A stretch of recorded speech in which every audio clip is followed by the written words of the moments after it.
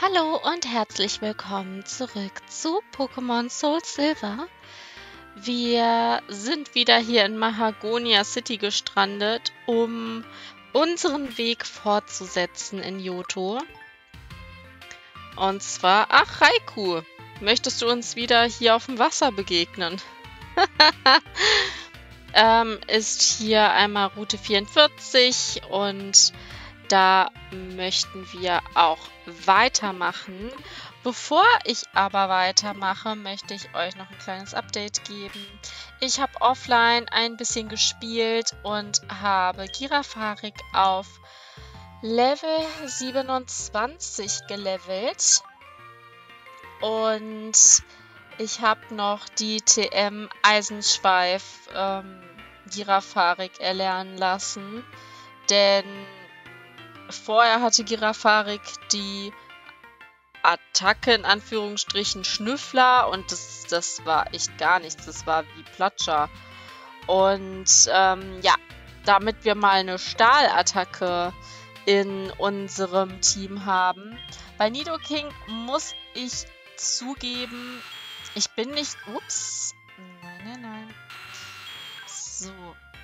Ich bin nicht ganz so zufrieden mit Blizzard. Es hat nur 5 AP.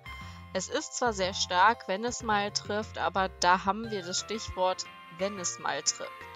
Deswegen überlege ich mir da ein bisschen was, ob ich eine andere Eisattacke auf Nidoking irgendwie rüberschreibe. Ansonsten bin ich relativ zufrieden, so wie das Team jetzt gerade aufgestellt ist. Ähm, jetzt, wo ich hier das Ei sehe, ich habe inzwischen auch genug Eier zum Ausbrüten, um meine kleine Evoli-Kolonie zu machen. Und ich habe sogar eins zu viel, dass ich dann irgendwann vielleicht mal ausbrüte oder vielleicht auch nicht. Und ähm, habe dafür jetzt Pipi in die, äh, in, in die Tucht, in die Zucht mit Ditto gegeben, damit die auch ein süßes kleines Ei legen. Und während ich offline gespielt habe, habe ich nach Pokémon explizit gesucht. Naja, komm schon. Komm. So. Und die wollte ich euch jetzt auch kurz einmal zeigen. Und zwar hier haben wir die Box mit den drei... Also das ist das Evoli, was ständig in der Zucht war. Deswegen hat das Level 33. Dann sind das hier zwei bereits ausgebrütete. Hier sind drei Eier und eins ist ja noch im Besitz, was ich dann noch am Ausbrüten bin. Ähm, ja, genau. Also, ich habe hier einmal ein Stalos gefangen. Und da kann ich euch überhaupt nicht sagen, wie unfassbar dankbar ich bin. Ich habe Stalos mit einem schwere Ball oder einem Schwerball gefangen, der aus ähm, ich meine, schwarzen Aprikokos hergestellt wird. Diese Bälle werden dann verwendet für Pokémon, die besonders schwer sind. Also sprich Relaxo, Stalos, diese ganze Kantengeschichte. Und ähm, habe ich in der Felsschlundhöhle gefangen. Das ist der Bereich, bevor man sozusagen zur Safari-Zone kommt. Da in, in diesem, halt in dieser Höhle, wo es nach oben und unten eine Treppe gibt. Und ich war da bei Nacht und habe Stalos ganz zufällig dort gefunden, weil ich eigentlich nach einem anderen Pokémon gesucht habe. Und bei meinen Recherchen im Nachhinein habe ich dann herausgefunden, dass Stalos nur mit zweiprozentiger Wahrscheinlichkeit vorkommt. Und ich habe es bisher da auch nie wieder gesehen. Ähm, dementsprechend äh, hier, das Wesen von Stalos ist Solo. Okay. Und es besitzt Temperament, ist vom Typ Stahlboden. Wir haben es mit Level 23 gefangen und der Fähigkeit Steinhaupt verhindert Schaden, der durch Rückstoß entsteht. Ähm, hat drei Gestein. Attacken, Steinwurf, Felsgrab und Sandsturm und die normale Attacke Raserei. Ist jetzt nicht so der Superhammer, aber ich bin super froh, einfach Stalos äh, in meinem Besitz zu haben. Ich werde euch gleich auch noch kurz die Pokédex-Einträge dazu vorlesen. ebenfalls super, super schwierig zu bekommen, ist Baldorfisch. Baldorfisch ist vom Typ Wassergift und haben wir mit Level 20 gefangen. Ich habe es auch mit einem Köderball gefangen, weil das für Fische, die man angelt, einfach eine höhere Wahrscheinlichkeit noch gibt. Ähm, es hat ein ernstes Wesen und ist irgendwie eitel. Ähm, ich muss dazu sagen, Baldorfisch ist nicht so, was ist nicht super zufällig gewesen, sondern ich habe dann, als ich Stalos begegnet bin, mal im Pokédex geguckt, wo man die jeweiligen Pokémon finden kann. Und ähm, da ist mir auch Baldorfisch untergekommen, welches ich noch nicht gefangen hatte. Und Baldorfisch gibt es auf ähm, Route 32, da wo unser Anglerclub ist, dort wo wir unsere erste Angel bekommen haben.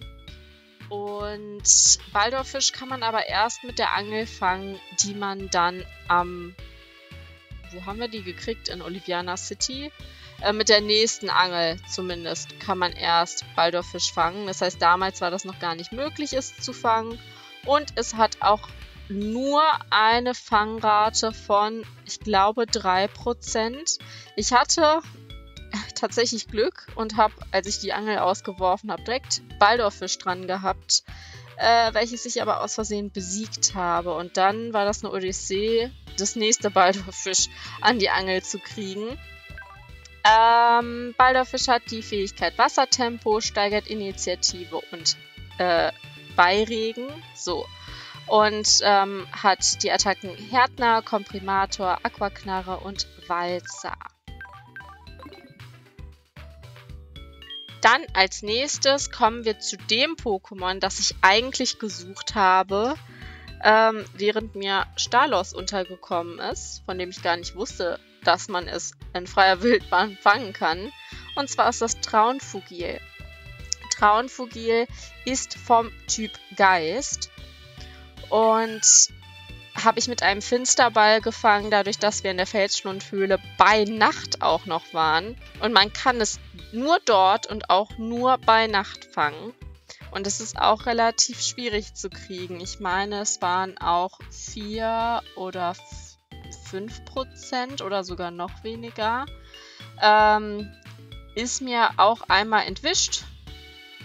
Und beim zweiten Mal hat es dann geklappt.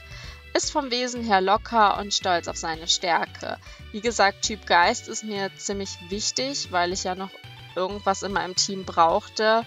Ich habe jetzt aber beschlossen, Girafarik und Nidoking mit den Geisterattacken, dass das so in Ordnung ist und werde jetzt kein Geister-Pokémon mehr meinem Team hinzufügen. Dennoch bin ich super dankbar, Traunfugil fangen zu können. Das war mir damals so ein bisschen verwehrt. Ähm, als ich damals die Edition gespielt habe, ich wollte immer ein Traunfugil und habe es nie gefangen, weil es, glaube ich, immer für die andere Edition war. Und ja, hat die Fähigkeit Schwebe, volle Immunität gegen alle Bodenattacken, hat drei Geisterattacken, Groll, Erstauner und Kung-Fu-Strahl und Horrorblick. Ist an sich gar nicht schlecht. So, und beim Überblicken ist mir jetzt gerade aufgefallen, dass ein Pokémon fehlt, was ich auch noch gefangen habe. Ich muss jetzt gerade mal gucken. Ach, ich habe das hier schon dazu sortiert. Ach, ich bin einfach zu ordentlich. Und zwar ist mir auf der Suche nach Traunfugil nicht nur Stalos untergekommen, sondern auch Maschok. Und Maschok ist auch ziemlich selten in der Felsschlundhöhle. Ich habe das auch bei Nacht gefangen. Und Maschok ist vom Typ Kampf, hat ein sanftes Wesen und ist irgendwie eitel. Fähigkeit ist schildlos, Angriffe des Pokémon und des Gegners treffen. Hat Karateschlag, Gesichte, Geowurf und Vergeltung, also sehr kampflastig. Und ähm, ja, Maschok mag ich sehr gerne. Hatte ich auch bei, ich meine, bei Pokémon Platin lange in meinem Team. Und ich konnte mich nie dazu durchringen, es zu tauschen, weil es ja sonst zu Macho Mai wird. Und ich weiß nicht, also ich finde Macholo und Maschok irgendwie noch sehr, sehr cool. Aber Macho Mai ist nicht so. Ich weiß nicht, dass das Artwork schreckt mich einfach total ab. Und ähm, ja, ich habe aber vor, noch mit ähm, meinem Platin-Spielstand zu tauschen, damit ich eventuell gewisse Evolutionen auslösen kann, weil sonst äh, entwickeln sich bestimmte Pokémon nicht. Und ja, das war so ein kurzes, etwas doch vielleicht längeres Briefing. Und damit das Ganze jetzt auch rund bleibt, ähm, lese ich euch noch die Pokémon, also die Pokédex-Einträge im, ja, im Pokédex durch. So, die Pokémon-Einträge im Pokédex durch. So. So, lese ich euch vor. Und zwar haben wir hier Stalos, eine Stahlboa. Stahl-Boden-Pokémon, 9,2 Meter lang und 400 Kilogramm schwer. Man sagt, dass ein Onyx, das über 100 Jahre alt ist, hart wie ein Diamant sein soll. Ich weiß nicht so ganz. Ich meine, Stalos wird ja mit einem Metallmantel evolutioniert, also Onyx mit Metallmantel wird zu Stalos. Ähm, es ist ja kein 100 Jahre altes Stalos. Deswegen finde ich das so ein bisschen irreführend, was hier steht. Aber ich bin jetzt mal nicht so. Ähm, dann haben wir noch wo ist es denn? Maschok ist ein Kraftprotz vom Typ Kampf, 1,5 Meter groß und 70,5 Kilogramm. Sein muskulöser Körper strotzt vor Kraft, sein Körper strahlt auch im Ruhezustand pure Kraft aus. Das stimmt, das kann man so unterstreichen. Dann haben wir hier Baldorfisch, ein Ballon-Pokémon vom Typ Wassergift, 50 cm groß und 3,9 kg schwer. Die kleinen Stacheln an seinem Körper sind aus Schuppen entstanden. Damit initiiert es Gift. Und zu guter Letzt haben wir hier Traunfugil. Kreischer, warum auch immer, ein Geist-Pokémon, 70 cm groß und 1 Kilogramm schwer. Es liebt, Menschen zu beißen und sie an den Haaren zu ziehen, nur um ihre Reaktionen zu sehen. Ziemlich böses Pokémon, wenn ihr mich fragt. Und ja, das war es soweit mit meinen Pokémon. Ähm, ja, wie gesagt, ich würde sagen, wir gehen weiter. Jetzt lasst, lässt der gute Herr uns auch hier passieren. Und da ist schon der erste Kampf. Ich werde gewinnen. Hundertprozentig.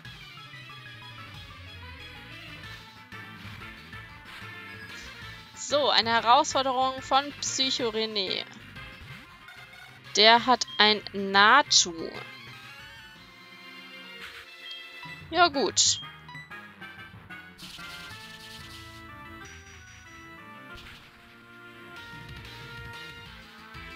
Und tschüss.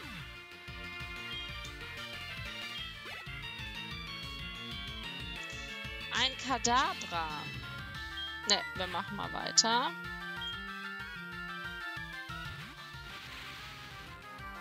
Kadabra ist auch schon ein sehr cooles Pokémon, aber Girafarik war jetzt einfach schneller. Ja, super, danke. Danke für gar nichts. Na, das ist schon ein bisschen böse hier.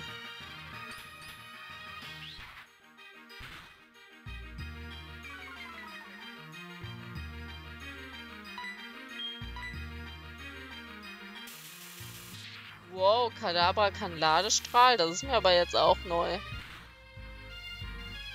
Na gut. Passt schon. Oh, das hat jetzt mehr abgezogen, als ich dachte.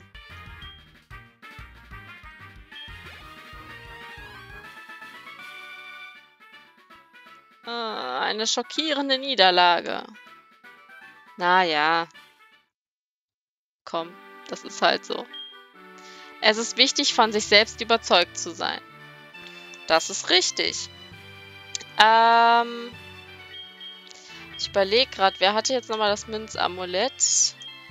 Ne, das hat Energiekraut, Wundersaat, Münzamulett.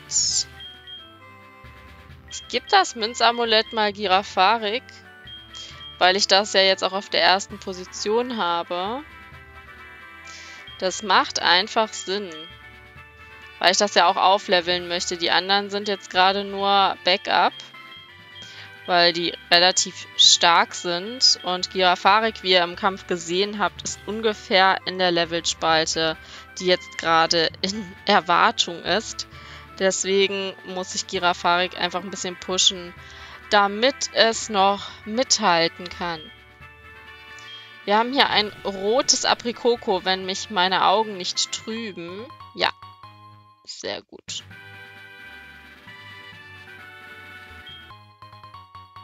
Ein Topschutz, das ist auch was Schönes. Ah, hier könnte man wahrscheinlich Surfer anwenden. Hier wahrscheinlich die ganze Zeit Kopfnuss, Kopfnuss. Okay, hier sind noch ein paar Kämpfe, denke ich mal. Hyperball, sehr gut.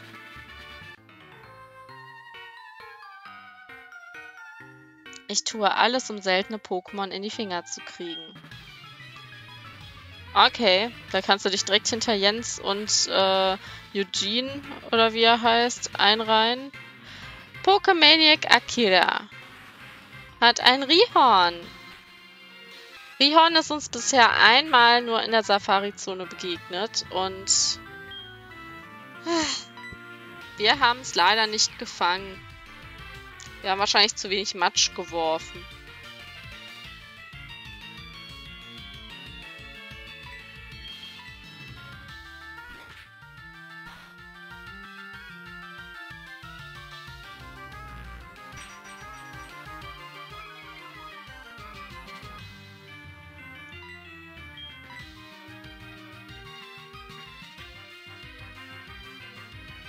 Oh, ging auch leider daneben.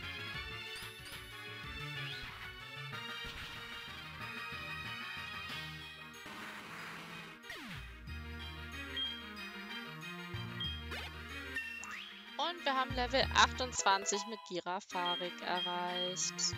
Girafarik versucht Gewissheit zu erlernen. Ah, Gewissheit ist doch das, ähm, das nicht das, was... Äh ja, das hat schon Ibitak. Ich würde das jetzt passen.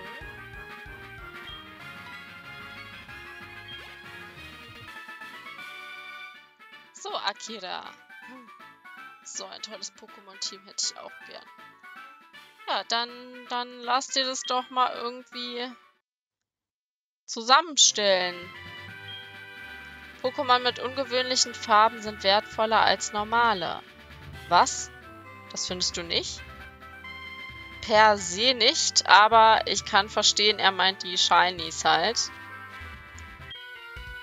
Oh nein, na besten Dank. Jetzt ist mir das Quapsel durch die Lappen gegangen.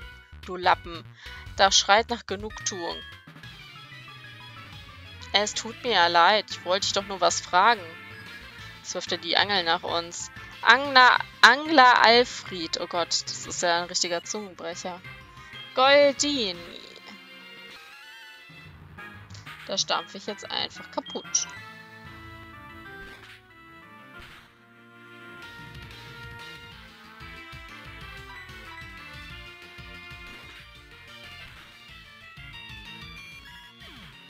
Tschüss.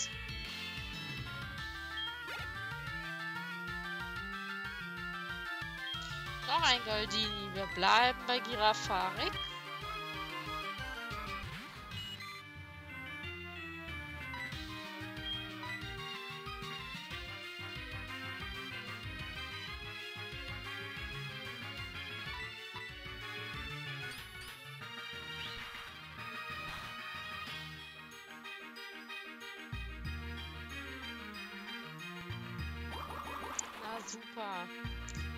das, äh, ja gut. Jetzt sind wir verwirrt.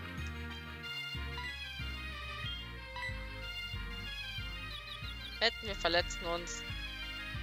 Ja, Glück gehabt. Hm, kurz vor knapp.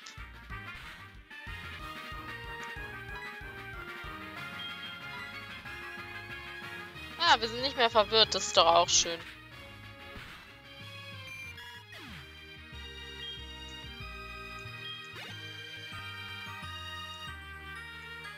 Ein Gold King. Dann machen wir das Ganze doch noch rund.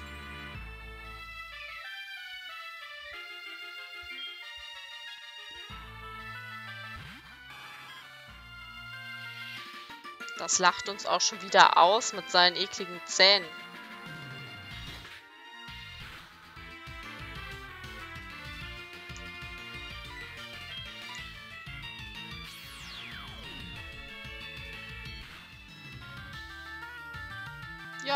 Das war gut.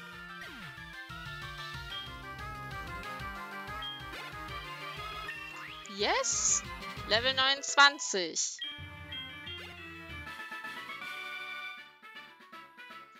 Mir reicht's langsam. Dann geh doch nach Hause. Aber ich muss zugeben, der Kampf an sich war gar nicht schlecht. Dazu, beim Angeln ziehe ich von Zeit zu Zeit Items an Land, die die Leute ins Wasser geworfen haben. Das nächste trete ich dir ab. Du verrätst mir doch deine Telefonnummer. Ja, ist ja jetzt auch kein Geheimnis mehr, ne? Ganz Yoto hat irgendwie meine Telefonnummer. Gut, ich melde mich, sobald ich was Gutes an der Angel habe. Am besten Evolutionsstein. So, die hat schon wieder was von unserem Geld gekauft. Ja, ja, ja, ja.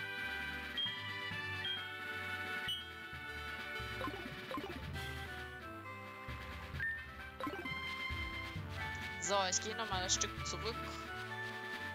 Später verpasst man noch was. Dann soll ich einfach mal die Angel auswerfen.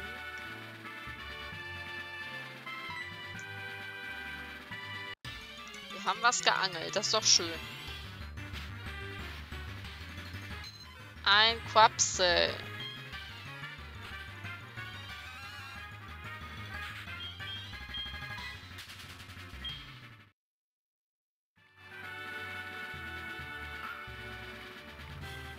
So, einfach den zweiten Versuch starten.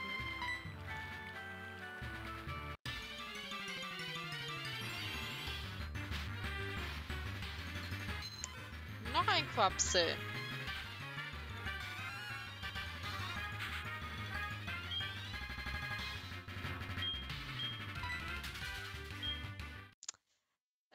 es ist ja nicht so, als würde ich Quapsel nicht mögen, aber wenn, dann würde ich gerne Weiterentwicklungen fangen, die ich dann auch nochmal weiterentwickeln kann.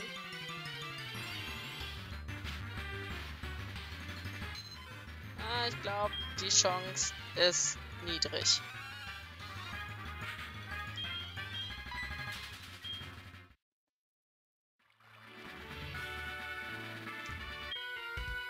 Ich angel so lange, bis ich nicht mehr kann und kämpfe bis zum Umfallen.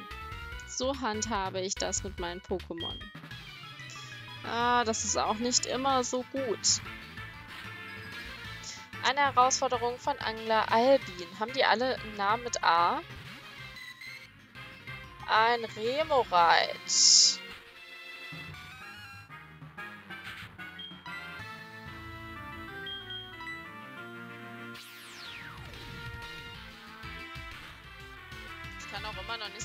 Glauben, dass aus dem Remorite ein Octillery wird. Das macht so gar keinen Sinn.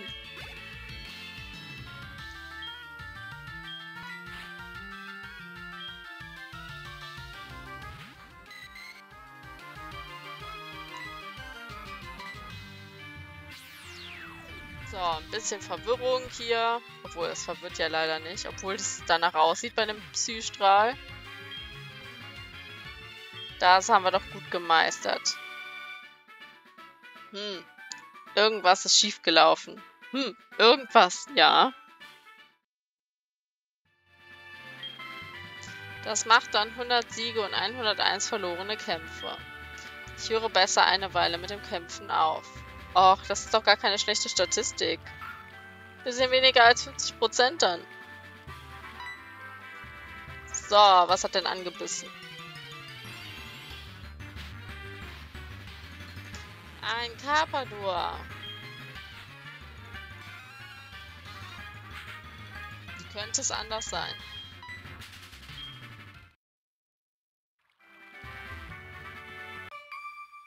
Oh. Die oder ihn habe ich gar nicht gesehen. Du siehst sehr stark aus. Gute Trainer suchen instinktiv nach starken Gegnern. Ah, glückliche Fügung oder auch nicht. Eine Herausforderung von Ast-Trainer Cora.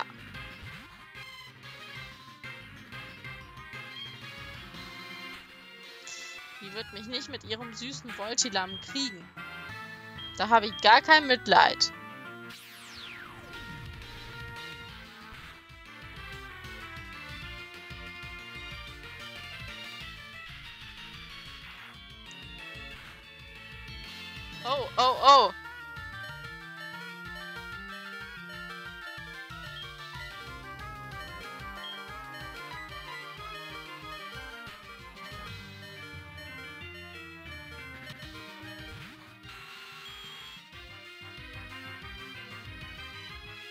Es hat leider keine Wirkung auf mich.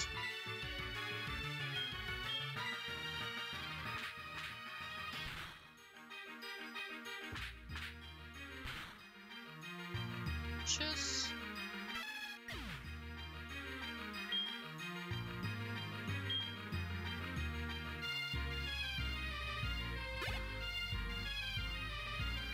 Ein Bluebella. Ähm... Ich bleib mal bei Nido King.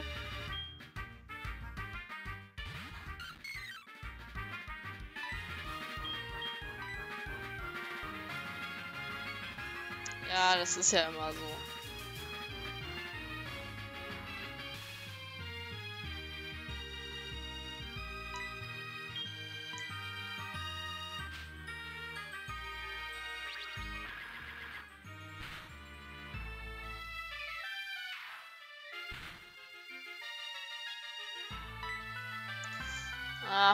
Blizzard wird nicht wirklich anschlagen, gehe ich mal davon aus.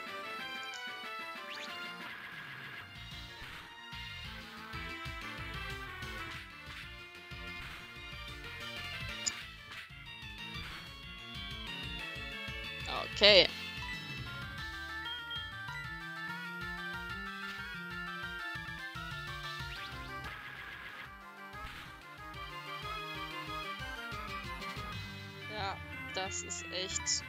Mit Blizzard. Da kann man sich nicht so ganz drauf verlassen in den Momenten, in denen man es vielleicht benötigt.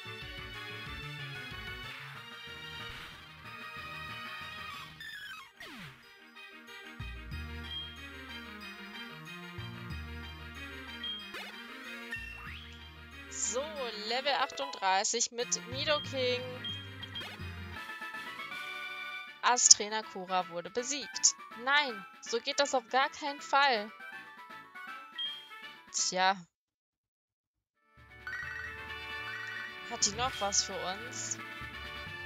Hallo, ich habe schon wieder dein gesamtes Geld ausgegeben. Ha, ha, ha, ha, ha, ha, ha. Sehr schön. Nicht. Mit den Kämpfen steigt unsere Erfahrung und wir werden besser. Ich habe viele Kämpfe ausgetragen, um zu werden, was ich heute bin. Ein Profi. Schöne Worte. Aber ich muss mich einmal kurz heilen gehen.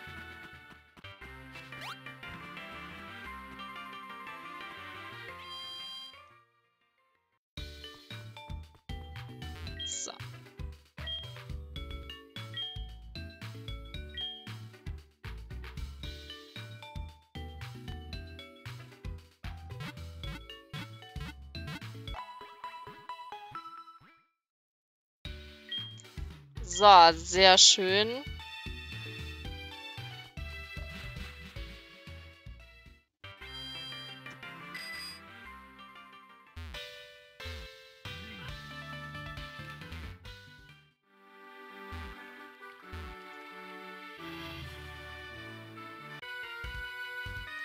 noch einer, der kämpfen möchte.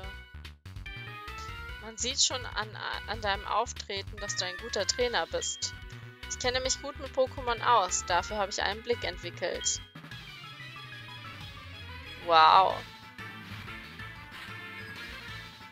Eine Herausforderung von Ast-Trainer Stan. Hat ein Glu uh, Glutexo. Oh, jetzt bin ich fast an meiner Spucke verschluckt. Uh, erstickt. So. Ein Glutexo.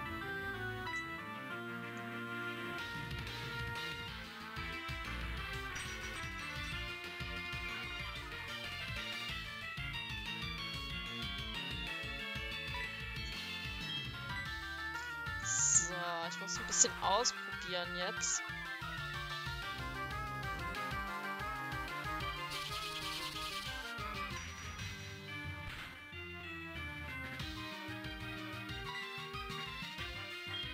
Stampfen wir nochmal ordentlich drum.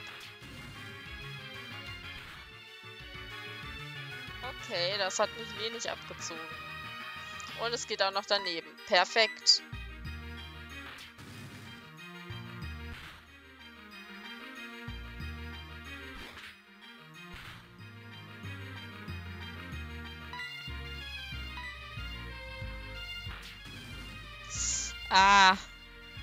Stopp.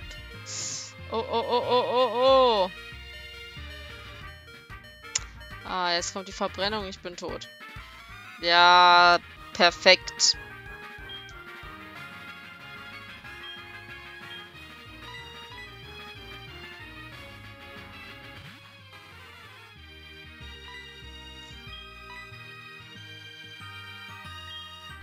Hä?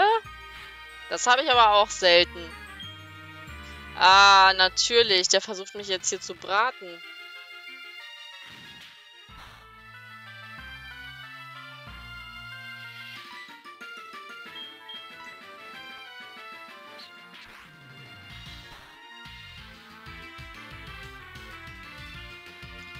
Ja, fand ich aber ganz gut. Zumindest. Selbst, obwohl es nicht effektiv war. Ja, Donnerwelle ist gerade noch das geringste Übel, was mir passieren kann.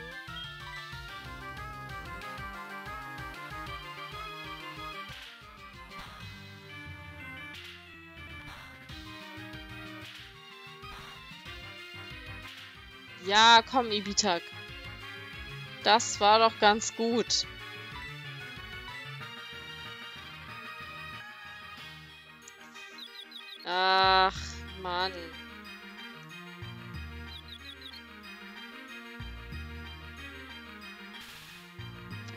Gibt's doch nicht.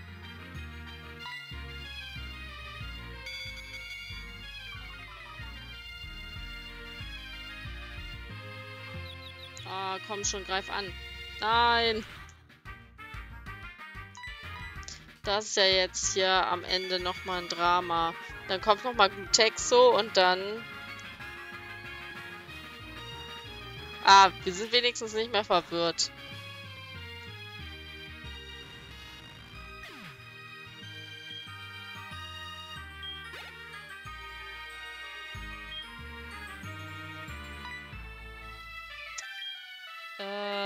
Ja, Girafarik ist ja out of order. Dann bleiben wir bei Ibitak.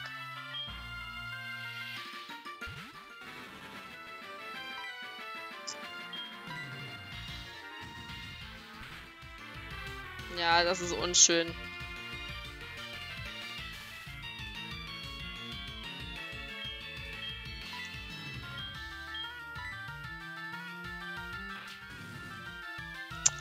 Ah, stopp, stopp, stopp. Ah, nein.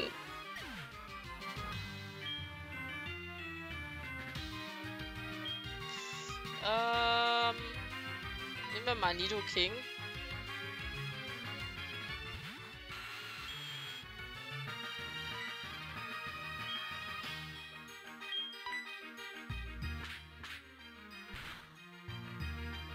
So, Wiedersehen.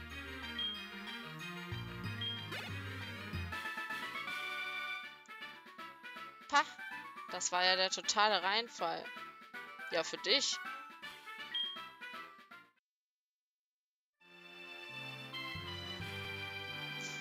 So, dann würde ich sagen, ist es mal wieder an der Zeit, hier einen kleinen Cut zu setzen. Morgen geht es dann weiter hier auf Route 44. Danke fürs Zuschauen und bis zum nächsten Mal.